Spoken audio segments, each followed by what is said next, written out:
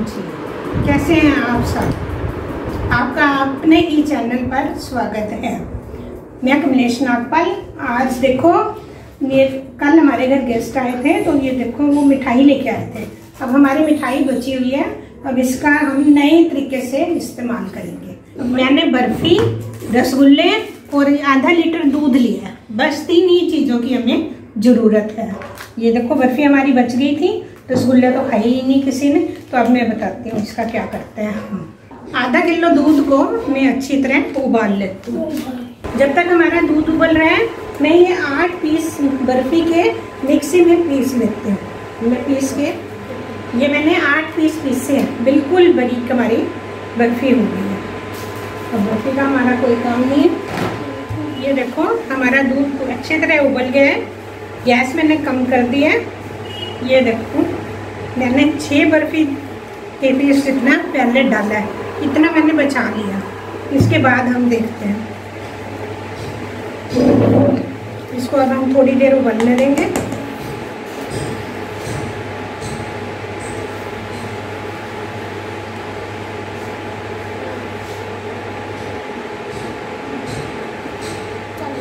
ये देखो, दूध, वो हमारी बर्फ़ी अच्छी तरह पक गई है। ये देखो, कोई भी लम्स नहीं आ रहा। तो दूध अभी भी मुझे पतला लग रहा है। ये मैं दो चम्मच, जो बर्फ़ी हमारी बच्ची थी, ये भी डाल दूँगी अब इसको हम फिर से बॉयल कर लेते हैं।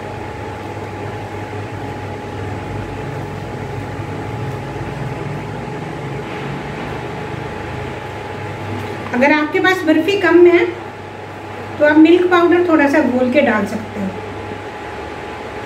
अगर मिल्क पाउडर भी नहीं है तो एक ब्रेड पीस के डाल दें।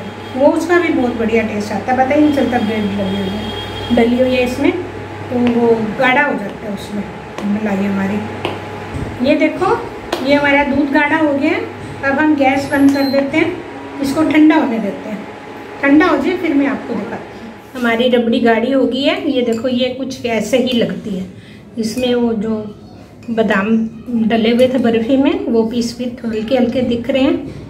ये हमने रसगुल्लों को थोड़ा सा ऐसे देखो, बीच में दबा के इसके बीच में डाल देना। रस नहीं निकल रहा, अगर रस निकल रहा है तो उसको निकाल लें। ये देखो, इसमें मैंने चीनी नहीं डाली रबड़ी में बिल्कुल भी।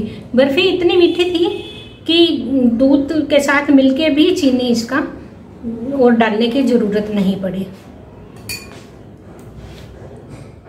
ये देखो, इसमें मैं थोड़ा सा केवड़ा डाल रही हूँ और ये थोड़ा सा मैंने केसर भिगो के रखा हुआ था, वो डाल दो।